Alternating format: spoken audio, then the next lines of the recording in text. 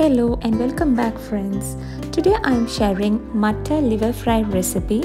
This is a pecan recipe that will stay in your heart forever. It is mighty in taste and full of zesty flavors. So here are the ingredients. I will give it in the description box as well. Okay, start heating up a pan and oil, few curry leaves, two green chilies and onion you can add shallots instead of this. We need to grind the ingredients like ginger, garlic, pepper, coriander and fennel seeds. Now we can add this mixture. Now you need to stir fry for few minutes. It is so easy to make with few ingredients. Cleaning liver is very important I have washed and soaked it in turmeric and salt for 30 minutes. After cleaning it very well, you can add it. Give it all a good mix. An important note while cooking the liver is you need to be careful that it should not be overcooked. If you overcook, then it will turn tough and rumbly.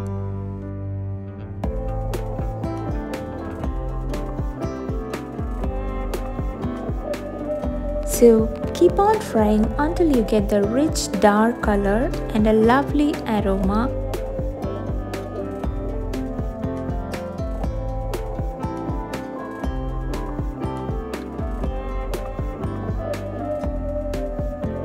Add 1 teaspoon of pepper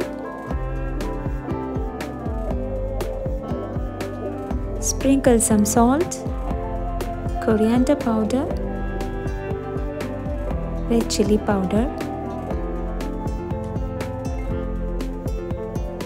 and garam masala powder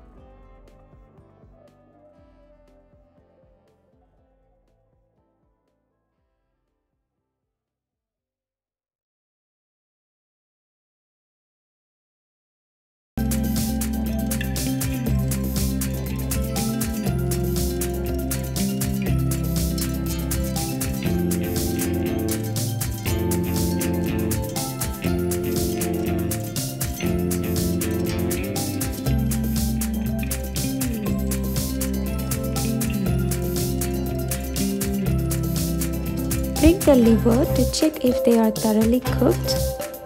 So that's it. It is ready. I hope you guys enjoyed this recipe. Subscribe if you like and thanks for watching.